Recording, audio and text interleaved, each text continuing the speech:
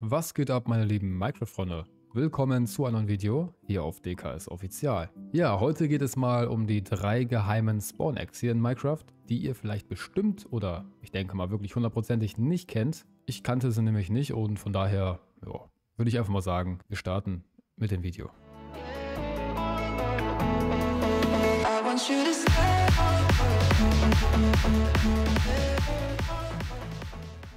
So, seid ihr bereit für ein Abenteuer?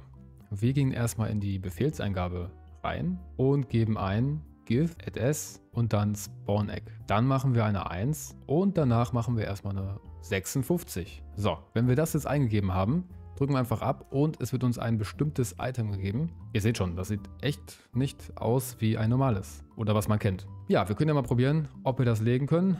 Nein, können wir nicht, natürlich. Es ist nämlich ein, wie soll ich es am besten erklären? Ich muss sagen, ich habe mir einen Bericht durchgelesen und ich habe nur Bahnhof verstanden und von daher, es ist irgendwie für Server und Websockets und so gedacht und ähm, da kenne ich mich halt gar nicht aus. Aber auf jeden Fall soll das hier eigentlich ein Golem sein, der aus der Education Edition stammt irgendwie. Also ich kann euch mal ein Bild zeigen hier. Ja, das ist irgendwie natürlich komisch. Es ist geheim. Was ist hier los? Warum ist hier ein Golem, aber es wird nichts gespawnt? Dann würde ich sagen, wir kommen direkt zum nächsten Spawn-Egg. Dafür geben wir ein GIF.S SpawnEgg 151. So, es hat sich eigentlich nicht viel geändert, aber ja, ihr wisst Bescheid. So, wenn wir das abgedrückt haben, seht ihr schon das bunte NPC Spawnen Eye. Und das hat einen Sinn. Ich habe nämlich vorher immer NPCs so gemacht. Summon NPC. Und dann wird einer in mir gespawnt sozusagen. Das ist so der Befehl, wie man ihn kennt. Aber ja, ich muss sagen, das Eye ist auf jeden Fall besser weil damit kann man natürlich viel besser interagieren. Und äh, wenn man gerade was baut oder so und da sind mehrere NPCs am Start, natürlich, dann ist das natürlich schneller gemacht mit einem Ei, als wenn man da die ganze Zeit einen Befehl eingeben muss.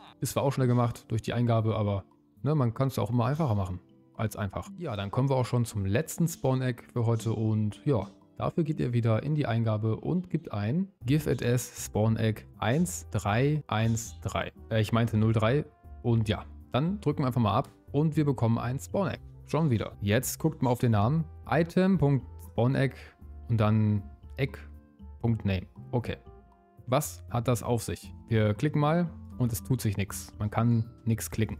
Also es wird kein Mob oder so gespawnt und ähm, ja, da denkt man sich natürlich, was hat Minecraft sich dabei gedacht und warum können wir als ähm, Spieler darauf zugreifen?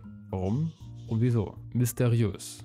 Ja, das war's auch schon mit dem Video und ich hoffe, euch hat dieses Video gefallen. Somit würde ich sagen, genießt das Wetter und ähm, bis zur nächsten Woche.